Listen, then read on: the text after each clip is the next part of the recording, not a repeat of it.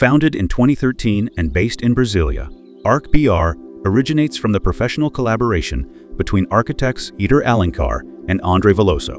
Its ideals are rooted in the power of transforming the landscape, the city, and the people living within it. Through critical reflection and architectural synthesis, the office develops projects that respect the scales in which they are implemented, evoking lightness and simplicity. ARQBR is now a member of the D5 user community, and we're eager to highlight their innovative projects with D5. Church of the Holy Family, one of the ARQBR's representative projects, was designed to connect the spirituality, nature, and the community. Architecture has become a conduit for the sacred and serene sense, with light cascading softly through skylights, the quiet majesty of stone, and harmonious openings that embrace the essence of nature. ARQBR thoughtfully crafted a circular ring of skylights that frames the horizon to weave in the poetic dimension of the world.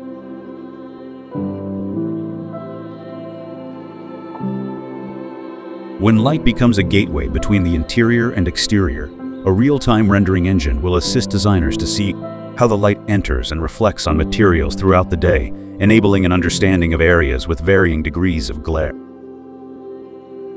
To maintain the internal space's privacy while integrating the surrounding landscape, the nave was deliberately designed to be sunken, and the upper portion of the structure was raised on six pillars. This allows a band of glass on the wall to showcase the exterior vegetation. Landscape performs as a fundamental element of the architectural project. It is necessary to simulate landscaping in order to understand their relationship. Thus, the possibility of quick and high-quality simulation enables a better understanding between the proposals of partner landscapers and the works of the office.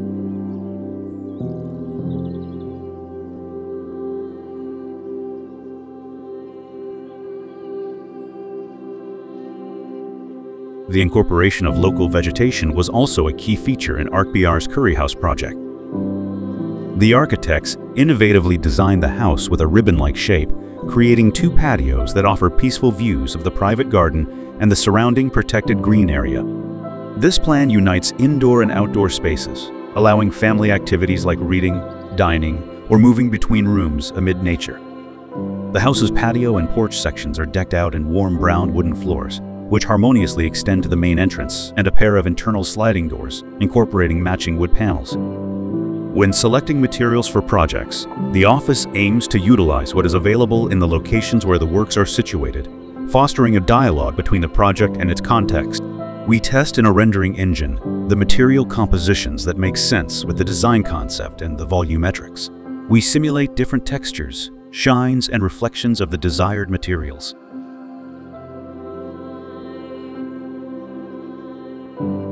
The insistence on simplicity, connection with nature, and the joy of living are showcased in another ARQBR project, the Parkway House.